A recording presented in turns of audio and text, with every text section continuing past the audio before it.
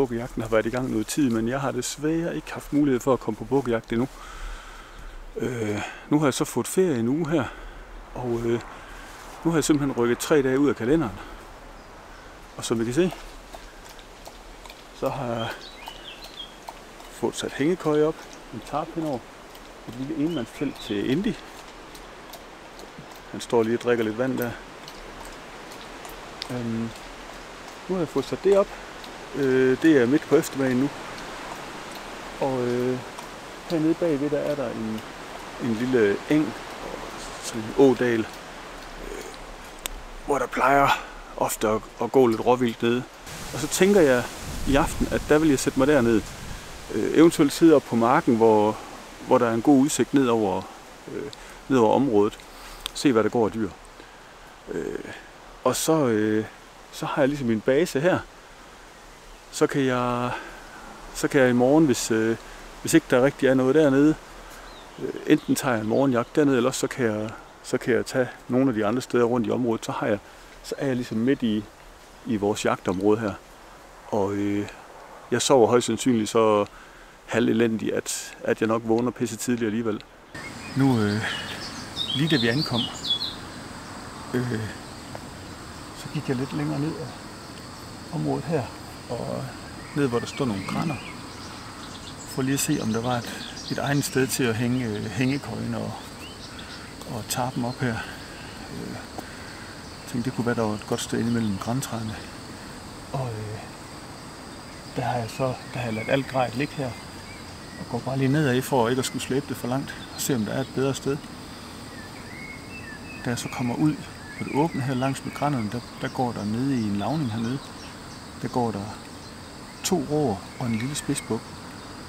Der havde jeg selvfølgelig hverken kamera eller riffel eller noget som helst med, fordi at, som sagt, jeg havde bare lige ladet alt grejet være heroppe, og så ned for at se, om det var et, et bedre sted. Men der vil jeg så ikke slå lejr dernede for, for ikke at skræmme dyrene.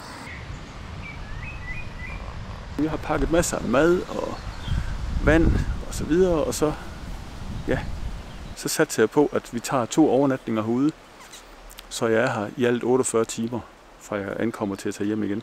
Med mindre selvfølgelig, jeg skyder en drømmebuk inden. Kommer det rigtig dyrt lige pludselig, så, så er det klart, på grund af de forholdsvis varme temperaturer, de lover, så bliver jeg nødt til at tage hjem. Men øhm, nu, øh, nu skal der bare hygges max med bål og god mad. Og ja, jeg var lige ved at sige, sove ude under det fri. Der har sådan en tarp henover, fordi der kunne give nogle små byer og noget duk. Nu øh, vil jeg lige lave en kop eftermiddagskaffe her, og måske lige stege en pølse eller sådan noget. Og øh, ja, så øh, når det begynder at blive hen omkring aftenstid her, klokken er lidt over tre nu, så, øh, så går vi ned og, og sætter os hernede i, i en stige sted. Og se om der skulle komme noget frem ned i engen. Så øh, ja, men det ja, altså var det skønt det her. Helt fantastisk. Jeg håber bare egentlig, han, øh, han kan holde ud, og at han ikke får alt for mange flåter på sig. Så øh,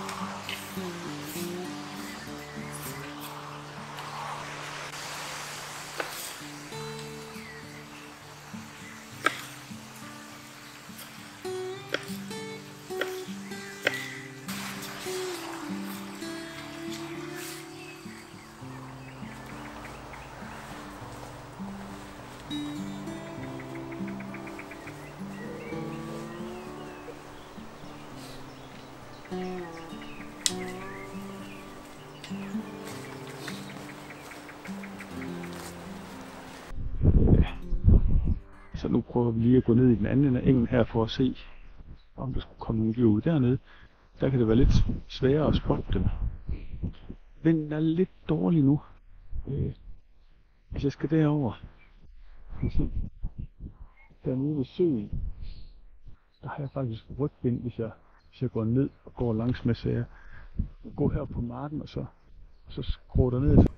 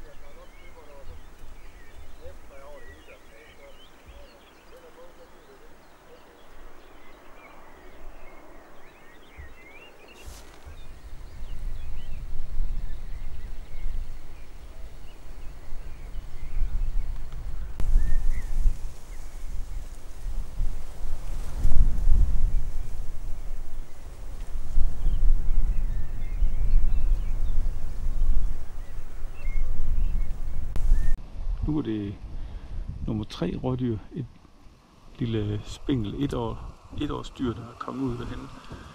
Og de er alle sammen helt hen i den anden ende af engen her. Der er der cirka... Ja, jeg tog lige afstandsmåleren, før jeg kan se, der ligger, det ligger mellem 270 og 290 meter derhen, så det er lige, det er lige langt nok til at, at kunne se med, med kikkerten. Øh, enten jeg kan se et det her det er et lille, ungt spindeldyr, men om det er en buk uden noget særligt opsats, det kan jeg simpelthen ikke se. Og nu har den lagt sig ned derhen, så det er lidt svært. Men der gik en spidsbuk før, og der var en stor tyk rå, så det, det er åbenbart de der tre dyr, der... Jeg tror, det er de samme tre, som jeg så lige eftermæst, da jeg kom.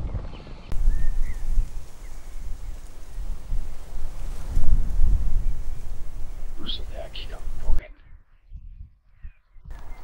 Der ser ud til at være så fint. Der kom frem på marken derovre nu. Den ser sgu. Den er ikke helt tosset.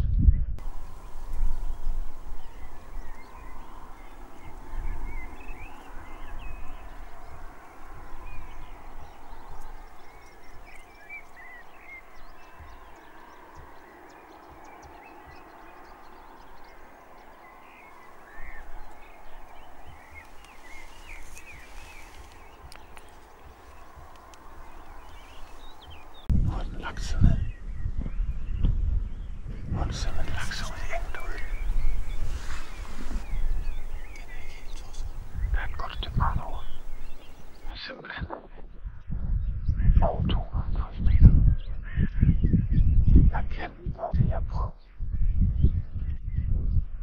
Jeg giver mig lidt tættere på, men det er svært, fordi nu ligger der to meter over. Så er chancen for en af dem ser mig ret stor. Nu har jeg listet bare endnu. Faktisk startede jeg med at gå modsat retning af bukken. Nu har jeg listet mig hernede langs med den her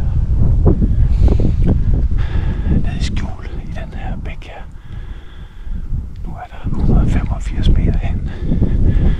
Så jeg skal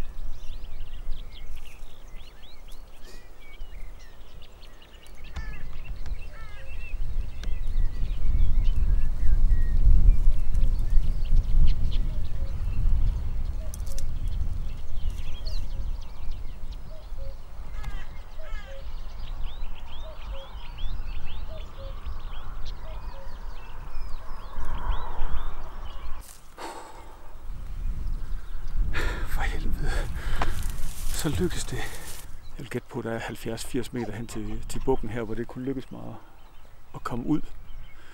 Det første sted, jeg stod her, der kunne jeg se, når vinden, når vinden kom, så nogle af sivene, de gik sådan nogle gange ind foran sigtet, så jeg kunne risikere, at en kugle den strejfer et, et siv og slår den lidt ud af kurs.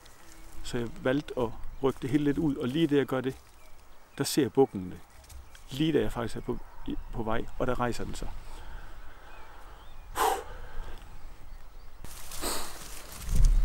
Første dag, jeg er ude på bukkejagt. Jeg har planlagt, at jeg skal overnatte her.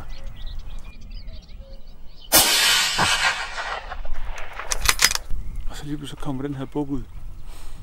Og den så altså, den ser altså rigtig fin ud. Min knæ, de sidder lidt nu.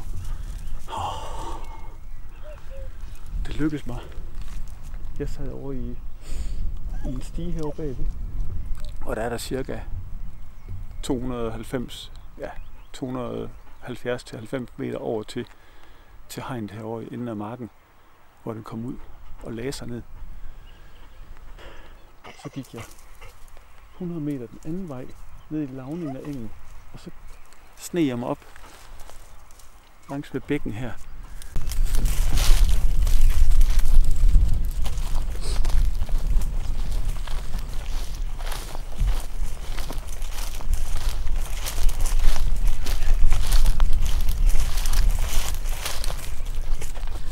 Oh, der kunne egentlig godt få færdig med et eller andet der. Ja, søn! Ja! Ja, det var godt da! Ah, det var dygtig. Ah, det var godt, Indy! Dygtig. Dygtig. En ganske reel sekshænder. Ah, den er ikke så stor, som jeg synes, den så ud til i kigger. Sådan er det jo tit. Men øh, meget lille dyr. Meget lille sekshænder. Faktisk så har den en ekstra spros hernede. Den er lidt speciel. Det er faktisk et, et, et forholdsvis lille dyr, det her. Ja,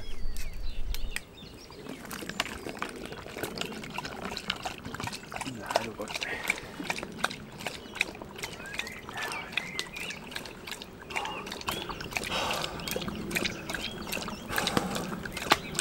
Oj. Nu tjener mig sgu en en lille øl. Nu har jeg hængt mit træ, den er blevet brækket, og det er heldigvis nogenlunde køligt. Så øh, i morgen tidlig, når vi har en god morgenmad, så pakker vi sammen og kører hjem, fordi med de temperaturer, de lover de næste par dage her, så vil jeg hellere have bukken hjem og, og få kød på køen, så det ikke går til.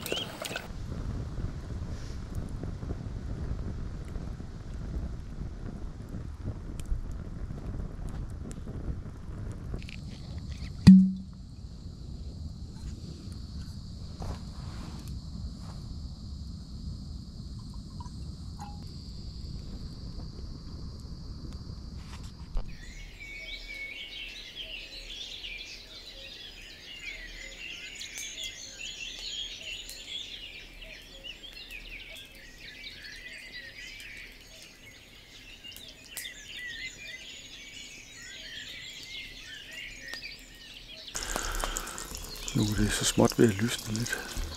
Jeg ved ikke, jeg ved faktisk ikke præcis, hvad klokken er. Men øh, jeg lå sgu og sov ikke særlig godt til sidst her, så da jeg sådan kunne se, at det begyndte at lysne, så tænkte jeg, nu kunne jeg lige så godt stoppe og få gang i smide lidt brænde på de kløder, der var tilbage, og så ja, går vi i gang med noget morgenmad. Og når vi har spist et rigtig godt gang morgenmåltid her med flæsk og spejlæg og hvad der nu skal til, jamen øh, så skal jeg pakke det sammen, og så skal vi skal jeg hjem og have, have ordnet bukken der.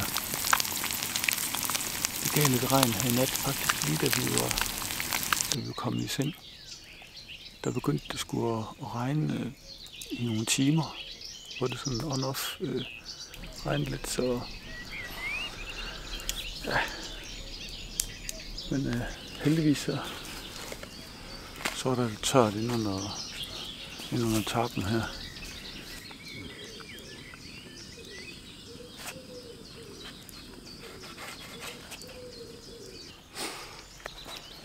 Det er en smart ting her. Den her køletaske. Øhm, nu har jeg lige nogle, der er to sæt knive, gafler, teskeer. Så er der en ekstra lille brødkniv her. Skeer. To rustfrie stålkopper, ligesom den her, med håndtag. To små bøtter her, man kan bruge til krydderier eller olie eller lignende ting. Skærebræt. Grydelapper. Nogle vaskeklude. Så har jeg selv puttet nogle flere grydeskeer sådan i her. Det er sådan en forreste lomme her. Så er der en lomme i hver side også, man kan have nogle ting i. Og så er der bare et stort kølerum her. Og I kan se, der er plads til masser af ting her. Ikke?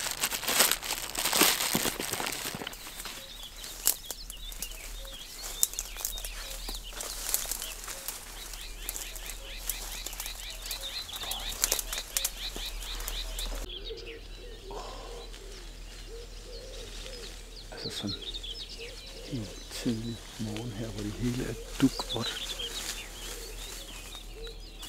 Det begynder at lysne, og luften er bare frisk. Ej. Det er simpelthen, der er ikke noget bedre. Altså det er en af de bedste ting ved, ved bukkejagten, det er når man kommer rigtig, rigtig tidligt ud sådan en sommermorgen.